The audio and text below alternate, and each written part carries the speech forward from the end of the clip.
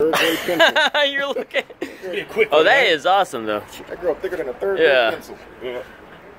All right, Peter, tell, tell us who you are and what you did to this poor girl.